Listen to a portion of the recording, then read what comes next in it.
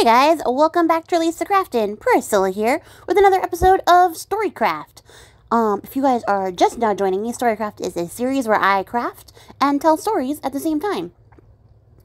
Welcome. I hope you like it. Uh, for the month of February, we are doing stories themed over love, and this is our last one for the month.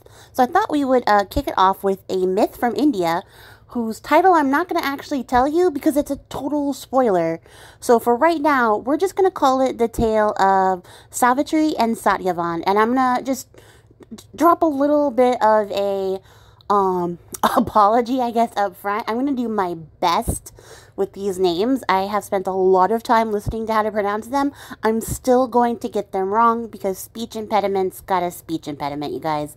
Um, bear with me provide phonetic instructions on how to pronounce these things in the comments below if you see that I have erred, but if you yell at me, I swear I will fight you on the internet. So, that being said, the tale of Savitri and Satyavan, let's get into it. There once was a king of the Madra kingdom named Ashwapati who married a beautiful woman named Malavika and made her his queen. And I just, I'm really going to point out, you guys, I love, love a named character more so when it's a named female character. So this story already top tier in my world.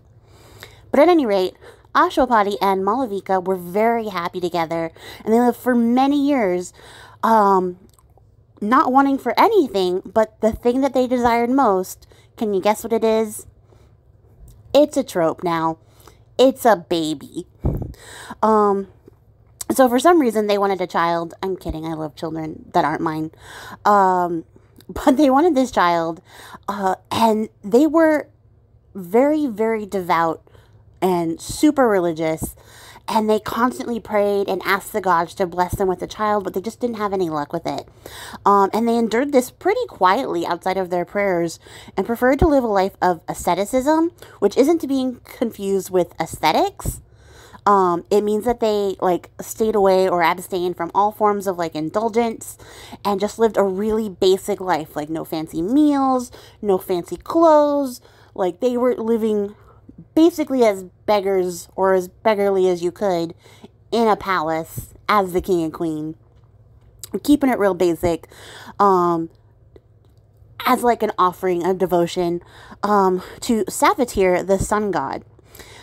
Every day, King Ashwapati prayed to Savitir um, for a child, so much so that Savitir paid attention and was pleased with his devotion to him in particular that he appeared before the king and he told him, You'll have a daughter very soon in honor of your service.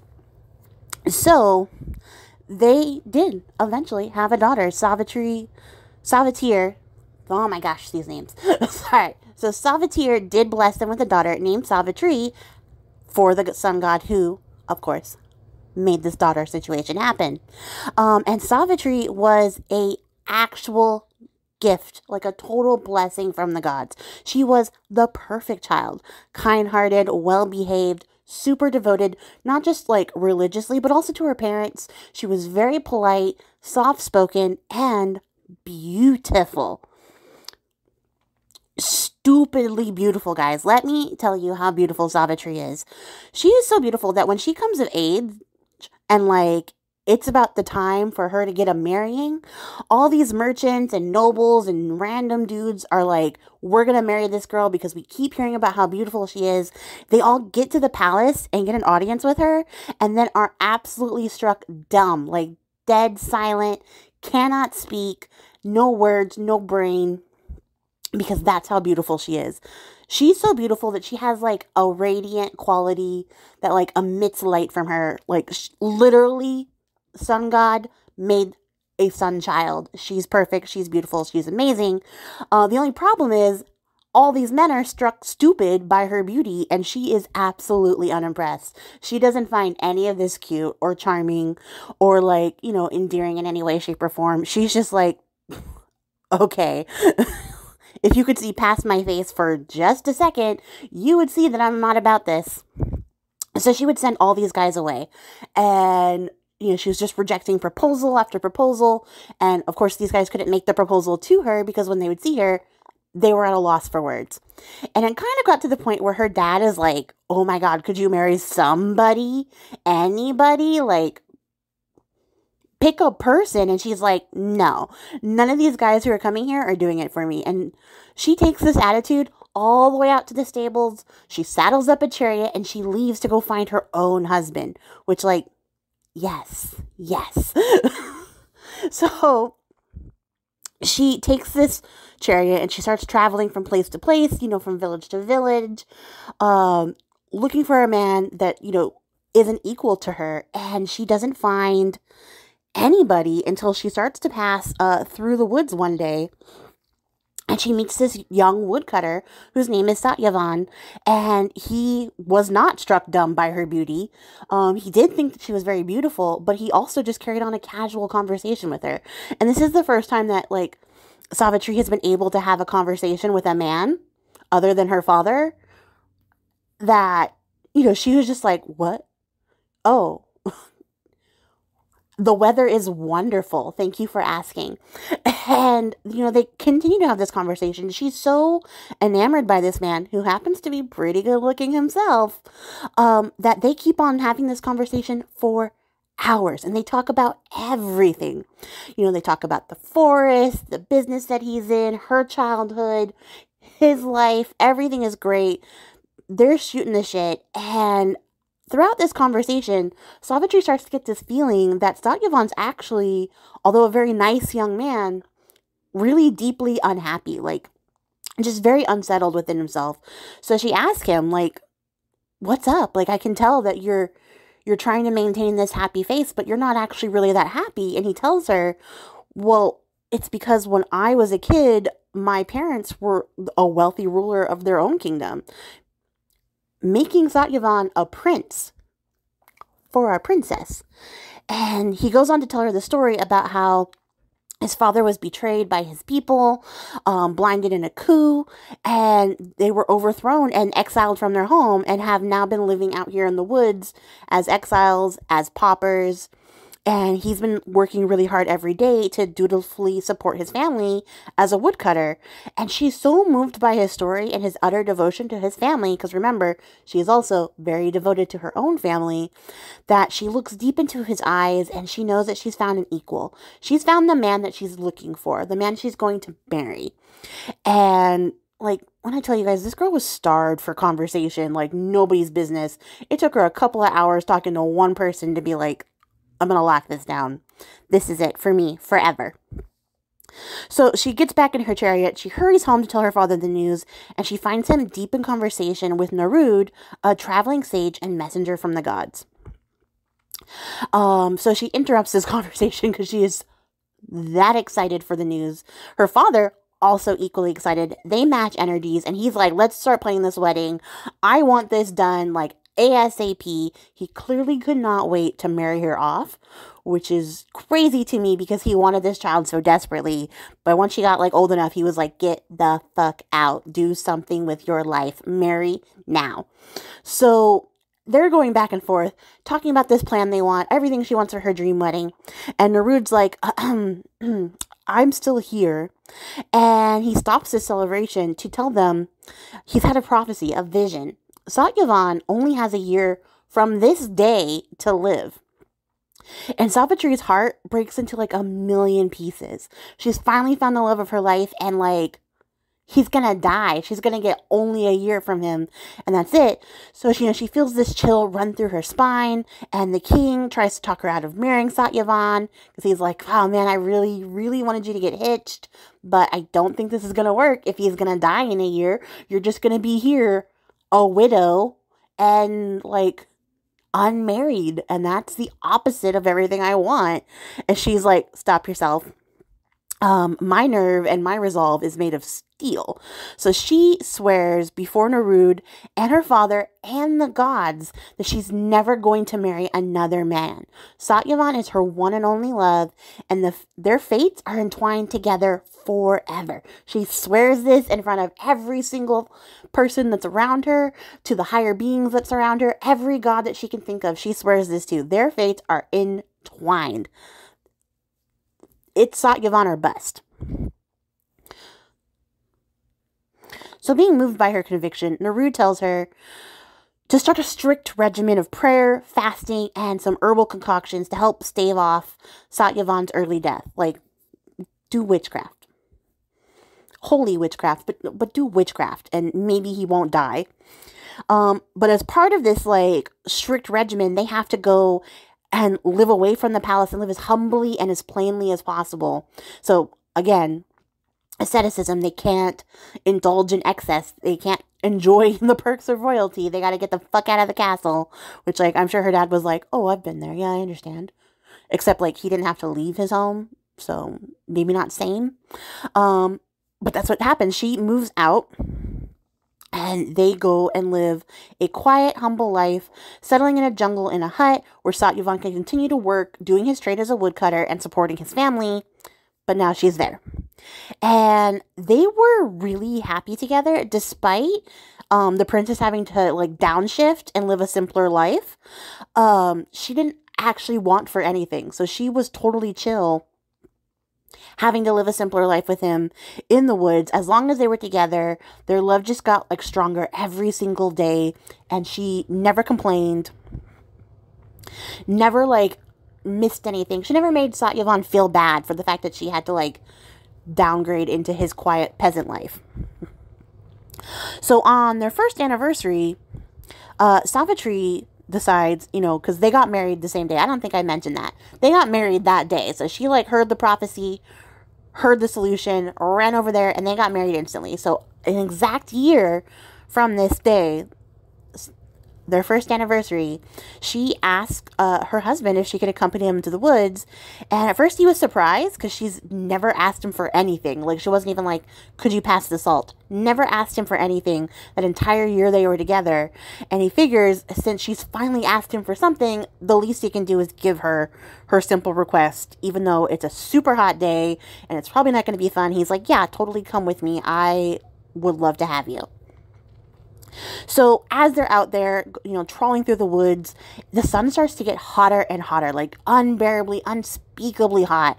And while they're out there, Savitri can see, you know, from her position, watching uh, Satyavan work that his brow is beginning to burn.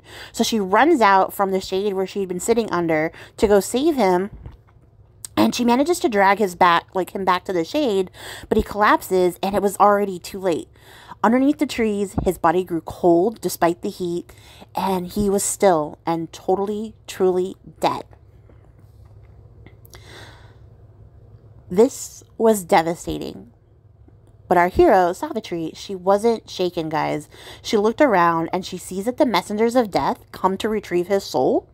And at first, they were also awestruck by how beautiful Savitri is, like most men they were like, whoa, that girl is way too pretty. And she has this heavenly aura because remember, she's like a literal gift from the gods. So they left. They were like, that girl's too pretty. She's also like godly. So we're not going to touch that guy that she's next to because that's too much. That's too much to ask for any messenger to do. So what happens is they go back without the soul. And now they have to report to the god of death, Yamaraj, to come back and get like the soul himself because they won't go. They're like, no, that's a goddess over there. She's clearly a goddess because she's super beautiful. Um, and we can't defy a goddess. So Yamaraj is like, okay, I'll do it myself. Like, fine. So Savitri is like, you know, just crying over her husband, and she looks up, and through the veil of her tears, she sees this towering figure on the horizon, and it was Yamaraj.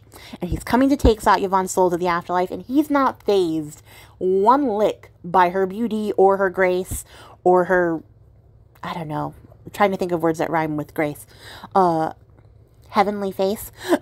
and He comes, he snatches up the soul, and he starts on his walk back to the underworld. See, most people would be daunted seeing the actual god of death before them, but Savitri, she only got stronger. Her nerve got like steel, and she got up and she follows the god of death as he carries her husband's soul away across the lands underneath this burning sun. Uh, Yamaraj demands that she leaves him alone, and I can only imagine that she's not just following him quietly. She's like following him and being like, "Give him back, give me my husband, bring him back," and he's like, "No, you need to leave me." Um, but she continues to follow him, and she continues to do it as her skin burns and her feet blister and bleed from the heat and the walk. And finally, the god stops his walk and he turns around and he's like, You can have one wish for your persistence because it amuses me, but then you have to leave me alone. But you can't ask for your husband's life back. And she doesn't even hesitate, you guys. Immediately she goes, I wish that my father in law's sight would be restored. Yamaraj says, Done, turns around and continues to walk uh, back to the underworld. Uh, some myths have him riding like a, like some kind of seed. It varies depending on where you're going from. He's walking in this story. So he turns around, he continues to walk to the underworld. Savitri doesn't she doesn't fuck off. She continues to follow him. And this like frustrates Yamarajas even more. And he's just like, My God, like, could you leave me the fuck alone? And she's doesn't say anything about that. She just continues to nag him and harass him. And maybe she changes tactics, you know, at some point and starts to like flatter him and offer him all sorts of gifts from her kingdom because she is a princess if he'll give her husband back to her. And he tells her, you know what? I'm really frustrated. I will give you a second wish because clearly you are persistent. She had to have been nagging him. There's no way.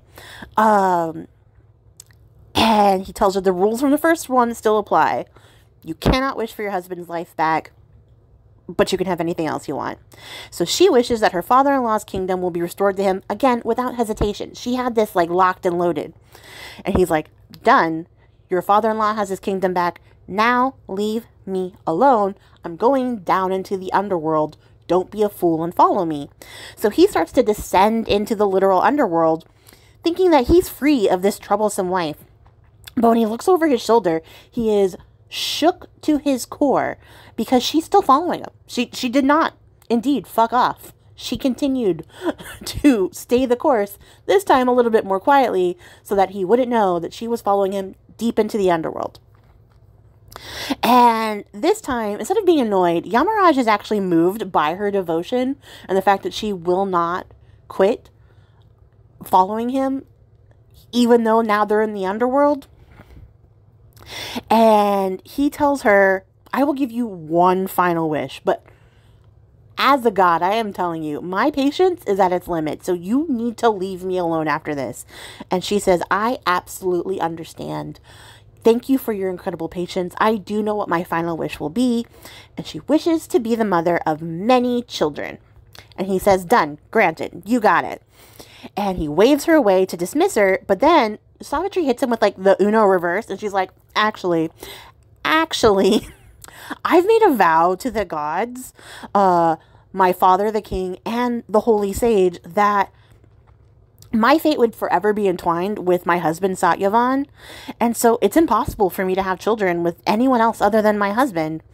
Um, because I swore myself to him. So I can't, uh, you can't fulfill your wish to me, and I can't be the mother of many children uh, without my husband. And Yamaraj, instead of being petty like a Greek god would, he was like, that's pretty good. That's pretty good. Actually, I'm, I'm really impressed.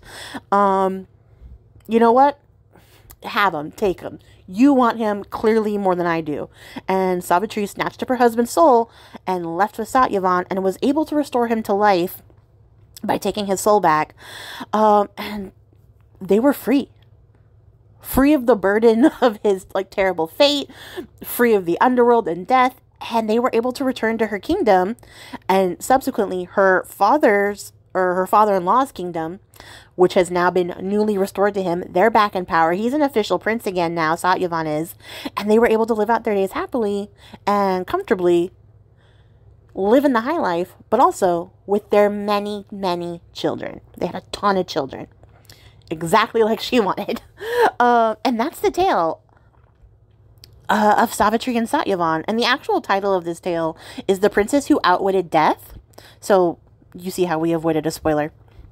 Um, but I just absolutely love this story. I love how clever Savitri is. I love that there is a female protagonist who has like agency and wit, and she isn't just like an object for a prince. She she seizes her own life by her hands, and she she outwitted death. You guys, like that's big. Those are big moves.